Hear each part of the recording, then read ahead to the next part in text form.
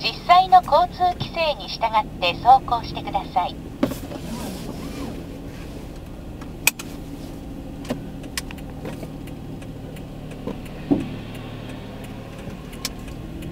はい、えー、もう8 6 2号です。と今日はですね、えー田尻町の、えー桜の湯からの帰りの前になりますね。衛星を受信しましたと来る時は結構晴れてたんですけども、やはりまあ時間的な感じなのか曇ってきましたね。まあ先月今月あ今月ですね今月のえー、と連続休暇の時ちょっと来れなかったんでまあ今日あとですねまあ天平に行きたかったんですけど休館日だったんでということもあるんですけどもこちらに来てみたんですよね。でまあ1年ぶりくらいにえー行きましたんで、まあ、いろいろ変わっていることもあったんですけども、と、以前はですね、えーこちらの桜の湯は、えー2時間で400円だったんですけども、えー今日行きましたらですね、あの1日券で、え500円ということでしたね。で、サウナの方はですね、若干、えなんか改装したみたいで、まあ、ヒノキの香りが、えほのかにする感じだったんですよねでなんか露天の方はですね、まあ、人工的な絨毯っていうかあ赤いですねまあマットみたいなのがしか、えー敷いてありまして。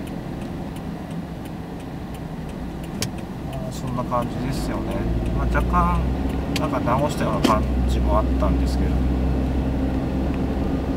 えーまああちらはですね、えーまあ、2階にはなるんですけれども、えー仮眠を取れるですねスペースがあるので、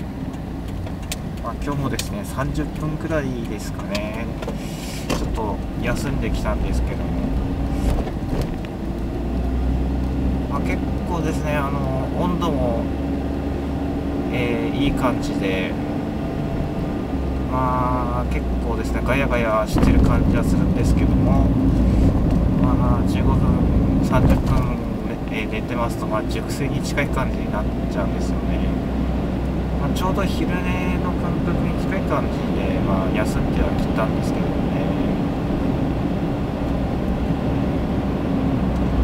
まあ、1年ちょっとぶりに行ったんですけどもまあ結構、えーお湯とかはえーかった感じですね、まあ、結構私は長湯する派なので、まあ、この温泉は結構おすすめなんですけどもね、まあ、顔とかも結構えーっとまあキュッキュ感っていうんですかね。あのまあなんていうんですかね。結構スベスベ感が強い感じであとシャワーのところにですねあの固形石鹸があるんですけどあれがなかなかいいんですよね。えっ、と小鼻の周りがですね綺麗に、まあ、角栓っていうんですかねあれが結構取れる感じなので。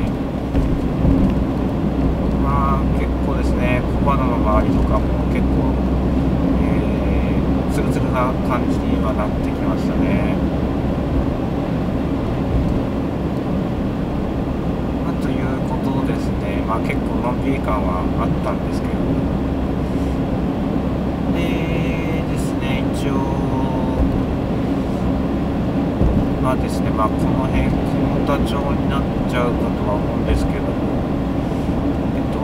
涌谷町のですね、まあ、ヨークベニュアルさんあたりで、えー、ちょっと動画の方ストップしようとは思うんですけども。まあそれまでですねえー、と、えー、ちょっとぐだぐだと、え、またトークしていこうかと思いますので。でまあブログの方には書き込んでいたんですけれどもえっ、とえっ、と1990何年ですかね2年くらいですかねあの私が初めて買ったえーと、パソコンがあるんですけども、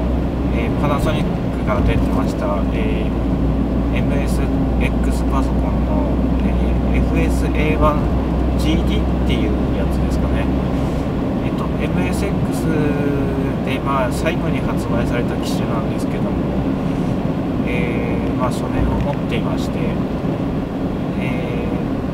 まあ、結構ですね長い間押し入れにしまっていたものでなんかフロッピーディスクの、まあ、調子がちょっといまいちだったので、えっ、と、ロッピーディスクのですね、あのゴムベルトですかね、それを、えー、まあ、注文したんですよね。それで、えー、っとですね、大体2日か3日くらいで到着しまして、まあ、今今ですね、手元に3本くらいあるんですよね。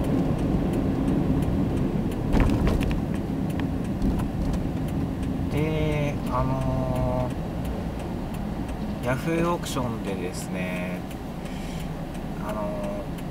このゴムベルトっていうのを1本210円で買えるんですけども、えー、1本ですね1000 1000いくらですかね1400円くらいで、え出品している人がいましてえーと質問コーナーの方でですねちょっと問い合わせをしましたら日本製ではなくてなんか外国の方から個人輸入をしているから高いんだっつう返信をもらっちゃったんですよね、まあ、別にあの今のところは、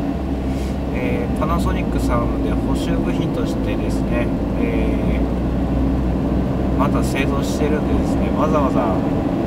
買う必要もないと思うんですけどね。あとまた抜かれましたね。スピード出しちゃいるんですけど。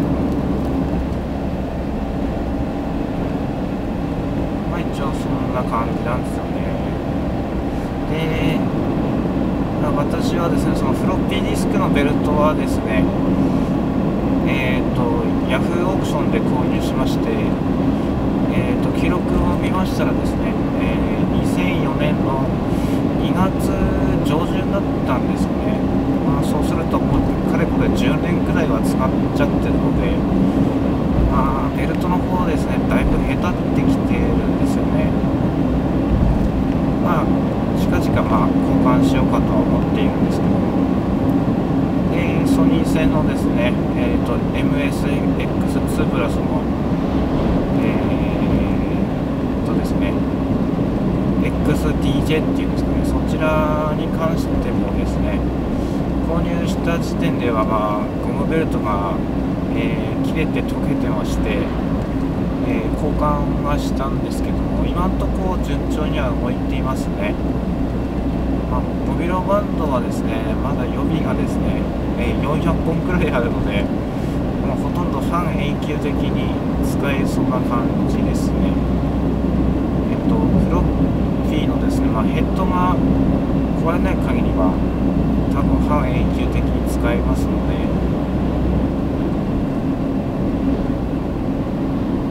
え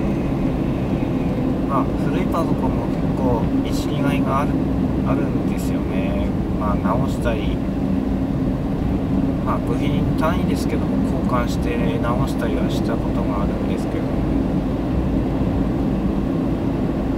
PC98 の互換機をですねちょっと手放した時はちょっともったいないなとは思ったんですけどもね。えっとパソコン通信、まあ、前も言ったと思うんですけどもえっとエプソンのですね、PC386GS まあカッコカイっていうやつでやってたんですけどもえフロッピーディスクがですね、え3.5インチ2機搭載してましてえ5インチが1機増設。あとメモリがですね、えっ、ー、と14.5メガになってたんですかね。でメモリーがですね増設されていたんですけれどもゲームとかでは全然意味がないっつう感じだったんですけれどもあ私あの MSX を持っていましたのでえーと、フロッピーのコピーとかは結構役に立ったんですよね。あとは、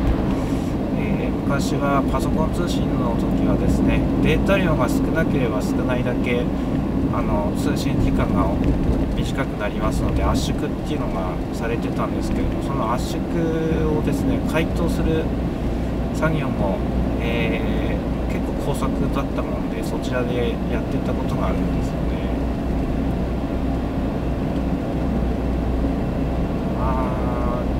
あれもちょっともったいなかったですね。モニターセットで4000円で購入したんですけども。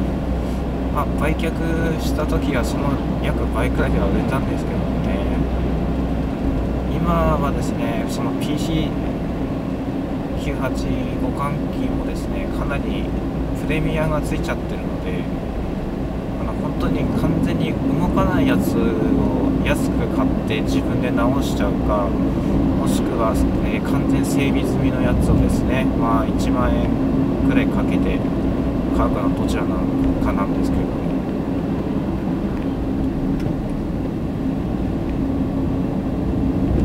まあその中古のパソコンですねまあ整備して使っちゃうとあの安いですね。現在売ってるノートパソコンか1台買えちゃう金額にはなっちゃうんですけどね。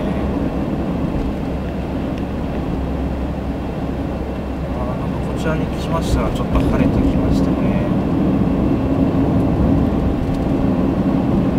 え、ですねもうちょっとで到着しますので。こちらで今日ですね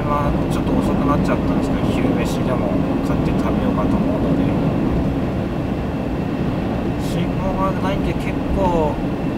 感じるんですけど多分10キロくらいは今走っちゃった感じですね。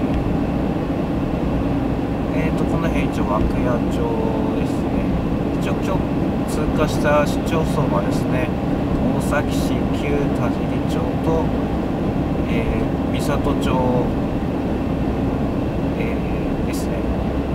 三郷町まあ旧小牟田町なんですけども。あとはこちらはえー南の幕屋町なんですよね。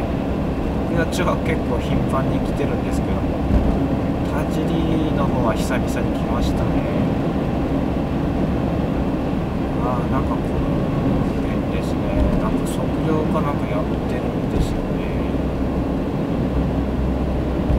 あ何か作るんですかね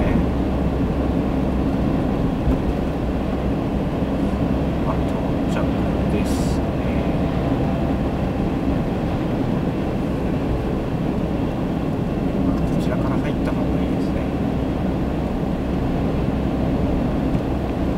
前のトラック抜いてったんですけどあんまり変わんなかったですね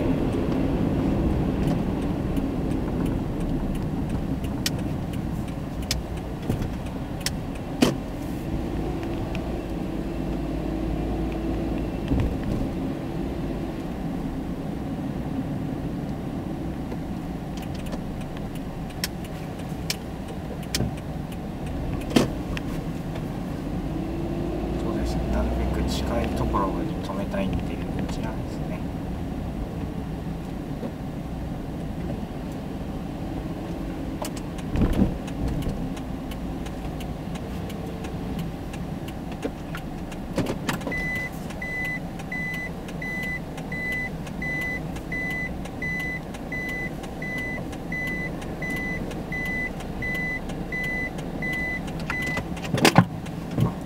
それでは失礼します。お疲れ様でした。